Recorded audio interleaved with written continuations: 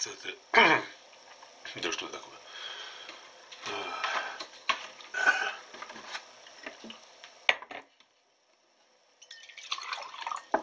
Тридцатое. Что-то совсем тяжеляк какой-то.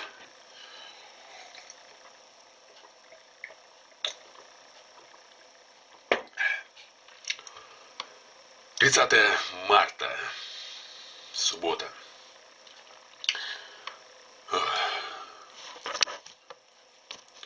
Сегодня у меня возникла какая-то большая усталость. Вот. Первую половину дня я занимался, как обычно. Вечером слегка увлекся продолжением дискуссии. Вчера я начал писать спектакль, сегодня я его продолжил. Вот. Вставил несколько дополнительных комментариев.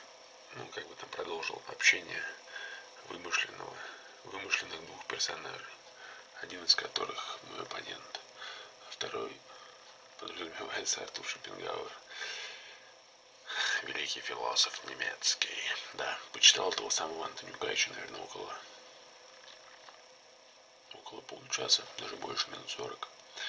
Ну, в общем, очередной филистер, утверждающий наивные вещи. В сущности, ну, говорит много и того, что я, но только у нас с ним крайне различная Э, понимание, то есть он считает, что нужно интуитивно познавать сущность Бога, заниматься какими-то само, даже не знаю, то есть он нигде, в принципе, не говорит, чем нужно заниматься, а говорит, что нужно стремиться познать Бога в себе. Не нужно читать книжки, не нужно пытаться на основании чьих-то, чьих-то сочинений что-то что-то воспринимать, а нужно сидеть и думать я не знаю даже думать, он говорит, интуитивно постигать Бога. Ой, Господи, такой глупец. Однако очень у него стиль хороший. Многих он высмеивает, так же, как я его высмеял. Вот. После чего авторы удаляют свои рецензии, чтобы не показаться дураками, а может еще по каким-то еще каким-то дополнительным причинам. Как он удалил, в принципе, мою. Придурок, Ну, придурок. Вообще странно все это. Вроде умный человек. Ну, действительно умный, по всей видимости, потому что пишет достаточно грамотно и внятно. Да и прочитал немало, скорее всего. Такое непонятно, что читал. Ну, Канта вряд ли читал. Потому что если бы читал, то, конечно, не знаю, надо, какую надо иметь голову, чтобы после прочтения Канта остаться в плену этих иллюзий, создавать какие-то непонятные понятия, которые запутывают, которые значительно запутывают рассудок, разум и приводят к тому, что начинаешь просто бредить какую-то чушь нести, считать себя супер, супер человеком, супер существом и пытаться всех остальных э, убедить не только в том, что ты супер человек, но и что нужно жить именно таким образом. Ну, у меня, в принципе, такое было лет пять назад, когда я... Ну ладно, это не важно. Значит, э, что я хотел сказать-то? Надоело мне болтать тут и у, записывать свои э, свои заметки на камеру. Сегодня было такое желание просто плюнуть и вообще ничего не писать, не снимать. с этим я буду, наверное, может быть, в ближайшие дни, если это не пройдет, то сделаю небольшой перерыв. Ну, в крайнем случае буду просто снимать, говорить вот там, 31 марта, воскресенье, сегодняшний день подошел к концу и занимался тем-то, тем-то, тем-то, на этом все. А. Хотя, может быть, завтра у меня будет другое настроение. Может, я просто перепарился сегодня в бане поэтому мне лень что-либо делать. Хотя сейчас вот начал говорить, и автоматически уже интересно поговорить стало. Уже не хочется выключать камеру, хочется болтать, рассказать что-то. В сущности, чудесная работа получилась. И она еще не закончена, я буду ее продолжать, потому что, ну, так как я сейчас читаю и одновременно и Канта, и Шопенгауэра, вот, и настолько проникнут э, их мировоззрением их сознанием, что ну, вот весь этот диалог, он, в принципе, у меня уже сохранен в памяти. И читая, он, не, он как бы не маленький, да, то есть он достаточно большой, плюс я уже прочитал немало дополнительных работ этого самого Антонюка. И читая Канта, я прям вижу, насколько глуп этот Антонюк. И отдельные положения наиболее, наиболее яркие и наиболее глубокие выписываю вставляю, вставляю. Главное, ну, у него, конечно, много. То есть здесь можно, здесь можно целую книгу написать. Причем не принимая никакого участия, просто, просто расставляя Антонюк Шопенгауэр, Антонюк Шопенгауэр. Потом введем, наверное, Канта туда. Можно еще кого-нибудь вести. Не знаю, Гегеля. Гегеля. Или Фейербах. Фейербаха вообще. Фейербах их, мне кажется, разобьет обоих. Обоих, конечно, нет. Шопенгауэр глубокомысленнее, глубокомысленнее Фейербаха. И значительно значительно более философ, чем тот самый Шопенгауэр. Да. Хотя, тот самый Фейербах, хотя, в сущности, если сравнивать, и у того есть много интересного. Ну, в любом случае, если сравнить любого из них вот с этим Антонюком, то это видно.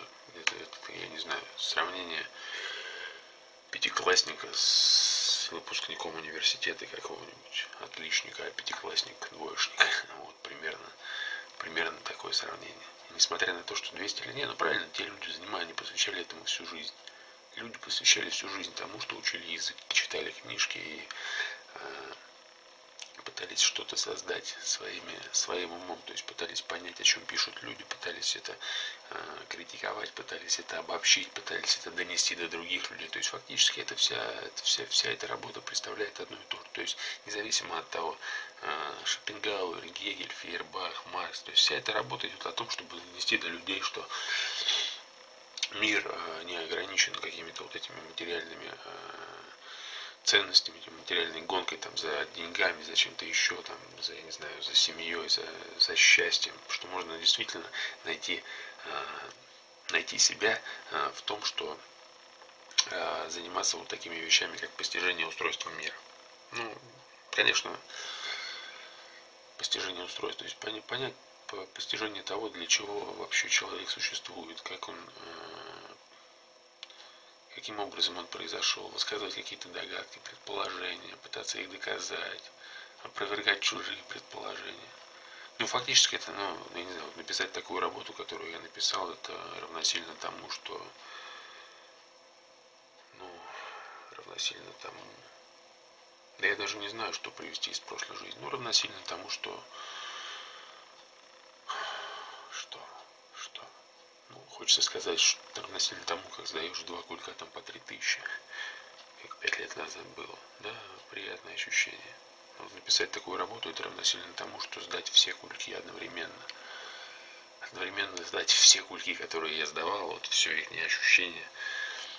Все это ощущение от каждого кулька, когда сдаешь, о, ништяк, я заработал три тысячи, обманув доверчивых, доверчивых глупых людей. так думал.